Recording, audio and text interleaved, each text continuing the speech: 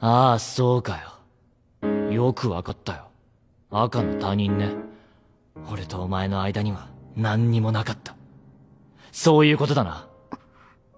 お前と一緒にいて楽しくなんて一切なかったし、仲良くなんてなってないし、お前と一緒に何かした思い出とか、全部全部偽物だったわけだ。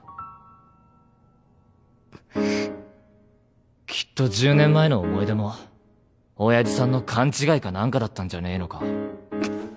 少なくとも、俺たちが約束の相手ってことはねえだろ。今の俺たちがこんななのに、昔うまくいってたなんて思えねえし。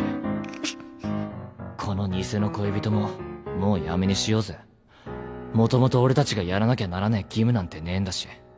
ちゃんと事情を話せば、親父たちもきっと分かってくれる。